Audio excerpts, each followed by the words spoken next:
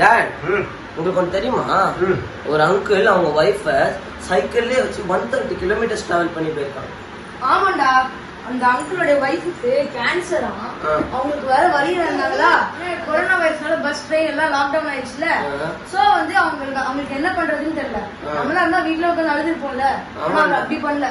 அவர் cycle எடுத்துட்டு புதுச்சேரி வரைக்கும் one thirty kilometres travel பண்ணி போயிருக்காரு சைக்கிள்லயே எவ்வளவு கேர் இருக்கும் அவர் ஒய்ஃப் மேல அவருக்கு? ஆ, இது நீங்க ஒரு படமா எடுத்தா எப்படி இருக்கும்? இது வந்து ஈரான்ல நடந்திருந்துன்னு வச்சுக்கேன் இந்நேரம் இது படமாயி அடுத்த வருஷம் ஆஸ்கார்ல எல்லா அவார்டும் அதான் வாங்கியிருக்கோம். அங்க ஒரு மூணு டைரக்டர்ஸ் இருக்காங்க.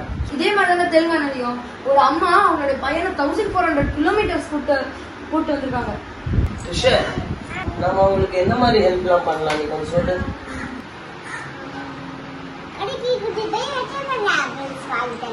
வெஜிடபிள் ஆப்பிள்ஸ் போன தடவை வந்த மழை வெள்ளமாகட்டும் இல்லை இப்போ வந்திருக்க இந்த வைரஸ் பிரச்சனையாகட்டும் ஏதோ ஒரு வகையில் நமக்குள்ள இருக்க ஹீரோக்களை வந்து அடையாளம் காட்டுது.